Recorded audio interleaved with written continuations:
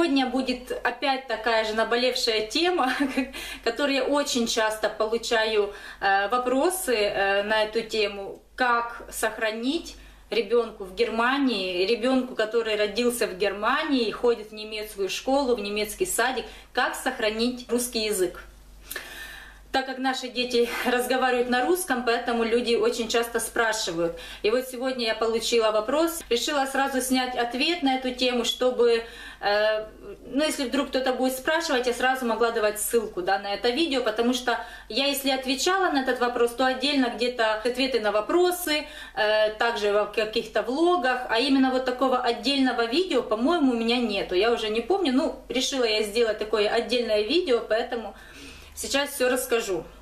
А, что хочу сказать, я буду говорить чисто за нашу семью, вот, э, и я не знаю, я ни, ничего не буду говорить за те семьи, которые, например, или папа немец, э, мама русская, или наоборот, папа русский, мама немка, я не знаю, как в этих семьях это все проходит, вот, я буду чисто за нас говорить, так как мы э, оба русскоязычные, мы прививаем язык. Начну с того, что наши дети родились в Германии, и наши дети э, ходят в садик, где разговаривают на немецком языке, немецкий садик, и также ходят в немецкую школу, потому что э, очень часто тоже вопросы такие э, поступают, какой у нас садик, русскоговорящий, немецкоговорящий. Мы живем в Германии, и дети ходят в немецкий садик и в немецкую школу где они исключительно э, разговаривают и воспитатели разговаривают с ними на, рус... на немецком языке. Ну, значит, как мы прививаем русский язык? Э, просто элементарно. Мы разговариваем дома исключительно на русском языке. Исключительно на русском. Мы не разговариваем на немецком языке с детьми абсолютно.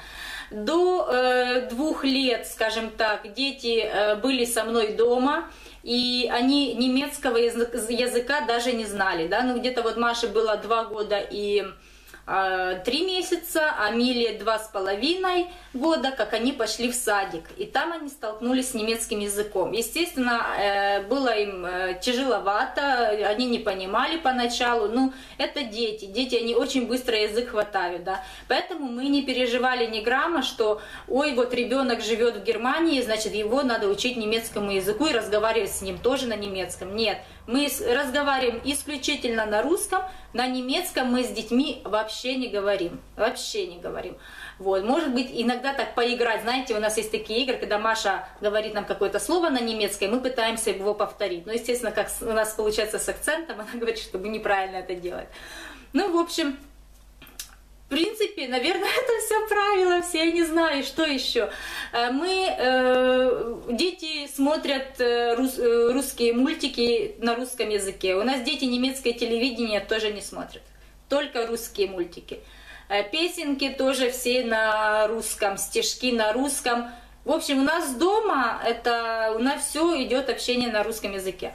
Что еще я как поняла для себя? Почему дети отказываются говорить на русском языке, как я да, вот, э, замечала в других?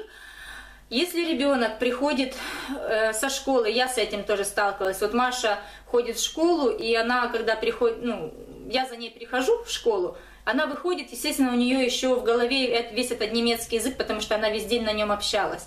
И она начинает со мной разговаривать на немецком.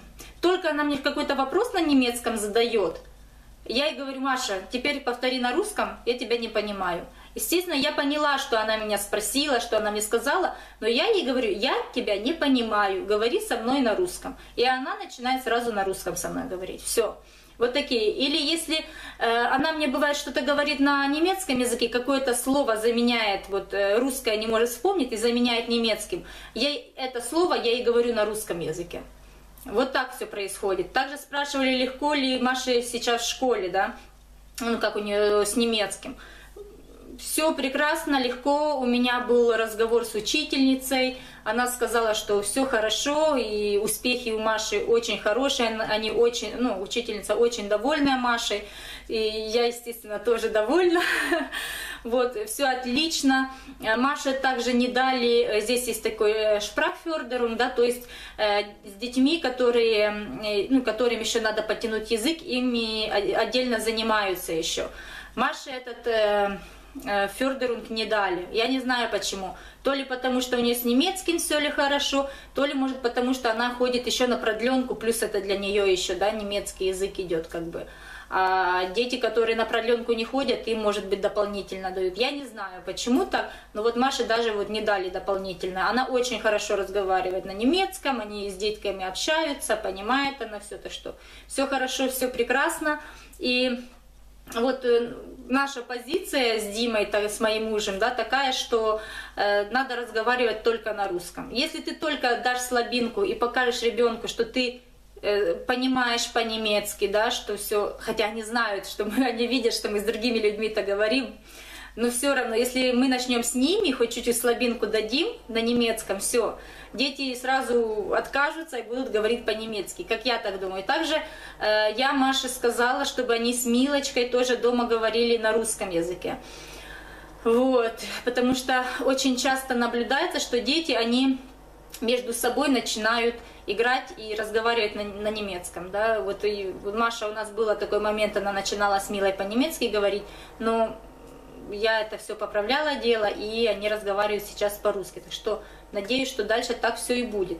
В общем, то, что вот это у нас, я не знаю, что еще можно посоветовать. Э, вот у нас все проходит именно так. Также задавали вопрос насчет того, планирую ли я э, учить детей э, писать и читать на русском языке. Да, планирую, но я решила это отложить на то время, когда Маша уже э, выучит немецкие буквы, да, и сможет читать и писать по-немецки. Э, я сейчас это ей не ввожу, потому что сейчас она учит немецкие буквы, да, вот все читать по-немецки. И если я сейчас же я буду и русский также вводить, я боюсь, что у нее будет путанина, она будет все э, путать, да, потому что, например, если по-немецки есть буква вот Б, да, вот, и, а по-нашему это буква В, да, я переживаю, что вот она вот будет это путать. Так что я сейчас хочу подождать, пока она выучит немецкий язык, э, будет читать, писать, и я буду уже потом учить ее русскому. Да, естественно, я хочу, чтобы она умела у меня читать и писать также на русском языке. Ну, и также Милочка, естественно. Просто Милочка сейчас еще маленькая, все все еще у нее впереди. Также Мила, кстати, она по-немецки еще не очень говорит, но когда я за ней в садик прихожу, слышу, она пытается, она уже очень много она понимает, но э, говорит она еще так себе, не очень. Ну, все впереди, господи, она будет жить в Германии, у нее сейчас садик, школа и все-все-все дальше. Она выучит этот немецкий, так же, как Маша, поэтому я даже не переживаю, что у нас дома нету немецкого языка. Так что делитесь своим опытом, как у вас это все проходит в вашей семье, если вы живете не в России, не в Украине, да, в другой какой-то стране, Англия, Франция, Германия, Италия. Как у вас это в семье проходит? Да? Приучаете вы русскому, не приучаете? Или и какие у вас способы ведения русского языка? Я думаю, кому будет интересно, также почитают ваши комментарии, делитесь своим опытом. Я думаю, это будет очень-очень интересно. Все, всем спасибо за внимание. Всем пока-пока.